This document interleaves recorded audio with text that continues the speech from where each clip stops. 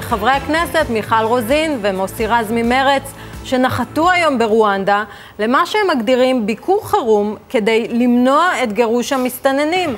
מאי, למרות החלטת ממשלה, פסיקת בג"ץ, זה לא מרתיע את חברי הכנסת. לא, בטח שזה לא מרתיע. תראי, יש להם עכשיו אה, קמפיין פוליטי אה, ממומן. אנחנו כבר הבנו שאת הטיסה של רוזין מימנה קרן גרמנית שמאל קיצונית, קרן כצנלסון, אני לא יודעת מי מימן את מוסי רז. תראי, מדובר על... על, על, על על גיס חמישי בתוכנו. אני יודעת שאני אומרת מילים קשות, אבל אני לא יודעת איך אחרת להגדיר את זה.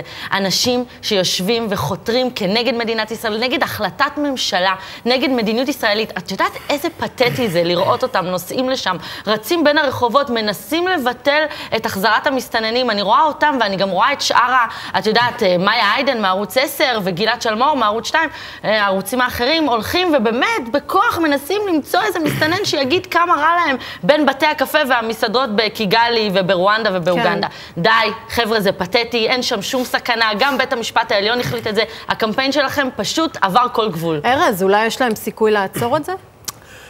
תראי, דיברתי עם אחד ממנהיגי המסתננים, רציתי להבין מה הם חושבים, והבנתי טוב מאוד כשהוא אמר לי, אין ברירה, אנחנו פה, כולנו פה, צריכים לדעת ללמוד ביחד, לחיות ביחד. ואני אמרתי לו, לא, לא, חבר, לא אנחנו פה. אני, אני פה, אנחנו פה, אתם אורחים.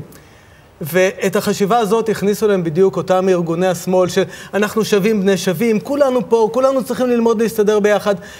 המהלך הזה של חברי הכנסת זה הזוי, וזה המשך לאות... לאותה אי-הבנה שיש פה ממשל דמוקרטי, יש ממשלה נבחרת, היא מקבלת החלטות וצריך לכבד אותן. אז באים חברי הכנסת, הולכים למדינות זרות כדי לפעול נגד מדינת ישראל, נגד הדמוקרטיה שלה, נגד ההחלטות שלה.